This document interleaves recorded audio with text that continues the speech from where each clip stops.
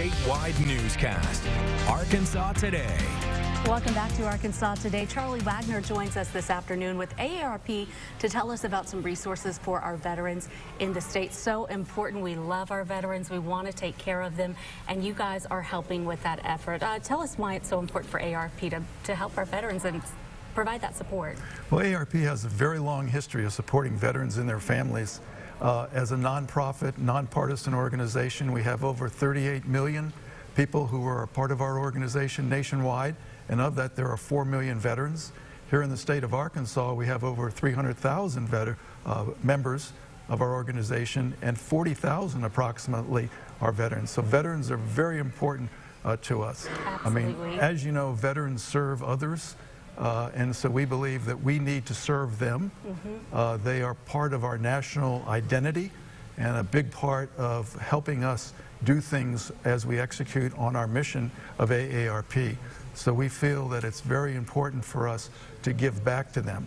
In fact, the... And, and you have some examples of, of, how you guys have been giving back throughout the years. Oh, yes, most definitely.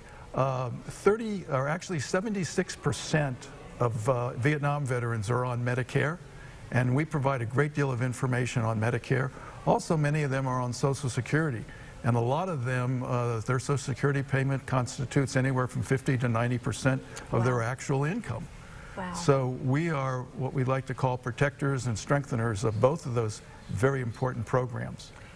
If uh, someone at home is watching and they are a veteran and they want to know how they can get more information, what kind of support you offer, where can they get those resources? Well, there are two very important uh, websites. One is www.aarp.org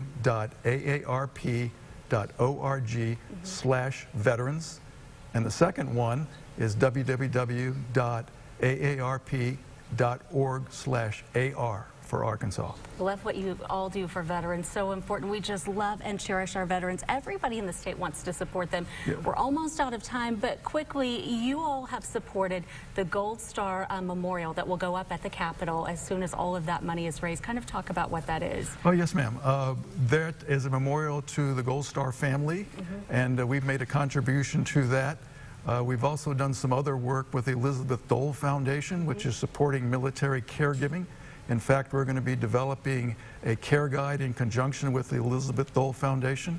We've also worked with the U.S. Postal Inspection Service to produce a, a booklet and a phone number uh, that contains information about fraud and scams that target uh, veterans here uh, across the country very important work that you do. If anyone wants more information, we're going to link that to our website, AARP, supporting our veterans. Thank you, sir, for joining us. You're we welcome. appreciate you and all you do. And we're back with a final check of our forecast after this. Stick around.